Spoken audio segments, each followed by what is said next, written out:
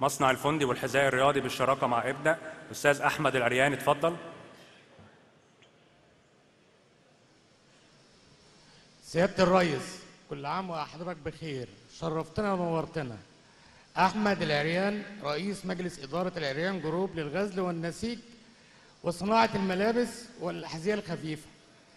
حضرتك يا ريس قلت لنا ابدأوا في مؤتمر الصناعات اللي فات وإحنا بدأنا بالفعل بالشراكة مع شركة ابدأ للتنمية الصناعية وعملنا آه، لأهالينا في سوهاج في غرب جرجا أول مشروع لصناعة الفندي والكوتشي في الصعيد. يا فندم ده نموذج لمصنع كبير إن شاء الله هنعمله لأن إحنا بنحلم زي ما حضرتك قلت وهنحقق إن شاء الله وهننفذ إن إحنا نجيب آه، مصنع أكبر مصنع في الشرق الأوسط ب 500 ماكينة. وال 500 ماكينة ده يا فندم ممكن يطلعوا من 9 إلى 10 مليون قطعة حذاء آه، في السنة. وبالتالي يا فندم يبقى في تعميق للصناعة وتوفير فرص عمل آه، للشباب وتقليل الواردات يا فندم وتوفير عملة صعبة. آه، يا فندم آه، آه، إن شاء الله يا فندم آه، إن شاء الله يا فندم هننجح إن شاء الله. وبقول لحضرتك اسمح لحضرتك إن نقدم أول أول ألف كوتشي هدية مننا لأهالينا في حياة كريمة. وأشكر حضرتك جدا جدا جدا يا فندم على دعمك للصناعة الفترة اللي جاية. وإن شاء الله خير إن شاء الله خير. طيب. شكرا يا فندم لا جدا. استنى بس يا عريان بقى استنى. استنى. كم واحد شغال عندك لو سمحت؟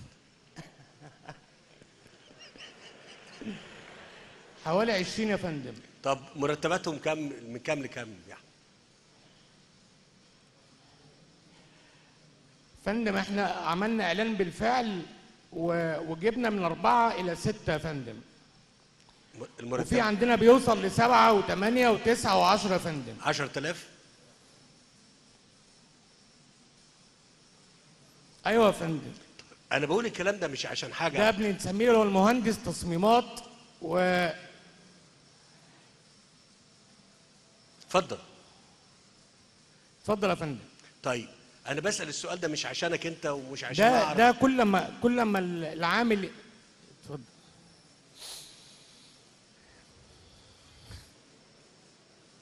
اتفضل يا أحمد.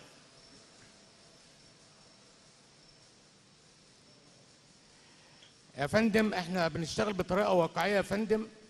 آه الفني لما اما بيبقى عنده خبرة أكتر المهندس لما بيبقى عنده خبرة أكتر بيزيد في المرتب. ويا فندم إحنا آه في الشغل عندنا بنديله آه نسبة على الإنتاج كمان يا فندم. كل ما يشتغل كل ما ربنا يرزقه أكتر يا فندم. طب أتكلم أنا؟ ويا فندم ابشرك يا فندم برضو ب... ب... بحاجة كويسة. إن إحنا ال 500 ماكينة إحنا اتفقنا مع الشركة الموردة للمكن عندنا إن هم يجي يصنعوا ال 500 ماكينة هنا ويبقى بالفعل الماكينة والمنتج صنع في مصر بكل فخر. ده اللي إحنا بنحلم بيه يا فندم وهننفذه إن شاء الله يا فندم. إن شاء الله بالتوفيق وألف مبروك على ال- المصنع الصغير والمصنع الكبير إن شاء الله. وأنا عايز أقول لك على حاجة. لما بسأل على أرقام عدد اللي بيشتغل أو أو كم بيقبض ببقى عايز ألفت النظر للناس إن قد إيه المجمع ده يا دكتور مصطفى ولاحمد آه، وزير التجارة قد إيه لو إحنا قدرنا نتوسع ونيسر للناس ونخليهم يبدأوا ويشتغلوا كده؟ إحنا هنساهم مساهمة كبيرة جدا. اولا بان يطلع منتج الناس تستفيد منه.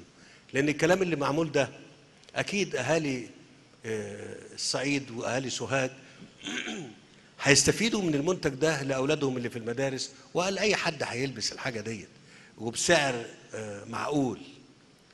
غير لو إحنا استوردناه من بره أو جبناه حتى من القاهرة لهنا. يبقى ده بينتج لصالح المنطقة ل- يعني آه، محافظة سوهاج والمحافظات اللي جنبه. لكن شوفوا النهارده الكلام اللي بيتقال إيه؟ كل ما بيشتغل ويبقى ماهر كل ما ياخد أكتر. كل ما يشتغل ويبقى ماهر ياخد أكتر. فأنا يعني بسأل المرتبات عشان كده عشان اولا نطمن إن الرقم ده رقم معقول والصناعة دايما مرتباتها أكتر من أي حاجة تانية. يعني دي كمان حاجات تكنولوجيا محدودة. تصوروا لو إحنا بنشتغل في تكنولوجيات متقدمة والناس اللي واقفة على المكن ده عفوا بتعمل حاجات متقدمة أكتر. كل اللي هطلبه منك وده محتاج إن إحنا كدولة نساهم معاك نساعد معاك فيه إن موضوع آه، البحوث وجودة الإنتاج نساعد المصانع ديت أيضا على إن هم إذا كانوا محتاجين تدريب نساهم في التدريب ده أو نوفره خبرات نوفرها عشان المنتج بتاعك يبقى منتج منافس وبيحقق المواصفات ال- العالمية اللي هي اللي هي بيتم إنتاجها في أحسن وأكثر الدول تقدما يعني. طب